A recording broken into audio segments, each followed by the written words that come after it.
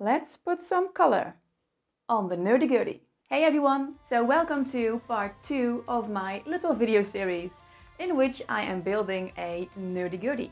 In case you missed the first video, a hurdy-gurdy is a medieval musical instrument. The one I'm building is called a nerdy-gurdy, which is a DIY kit. So, time to paint. After building the nerdy-gurdy about halfway through, it's now time to put some color on it. And because this instrument is made from bare plywood, the color possibilities are literally endless. What I've seen on the internet is that people who are building a nerdy-gurdy either go with the natural medieval style look or they go with a colorful modern look. I have chosen a colorful look and I have chosen one of my favorite colors, which is petrol. Petrol blue combined with metallic and brick red details give that kind of badass and steampunk vibe and I really love that. So without further ado, let's get to painting.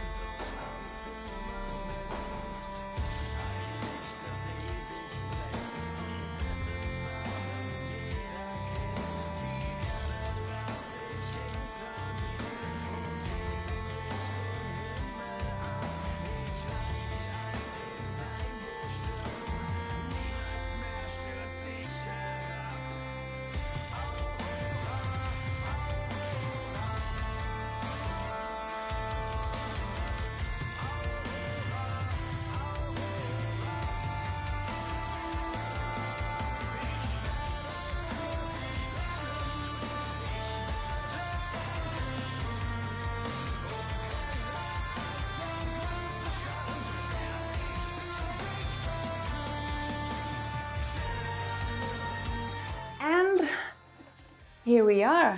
I absolutely adore this color combination. As you can see, the side is still open and I will close that when I have installed the wheel. There are two parts that I haven't stained yet and that is the back plate and the crank.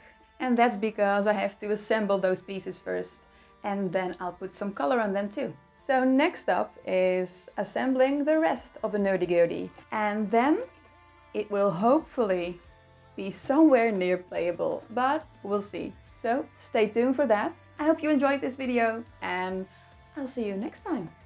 Bye!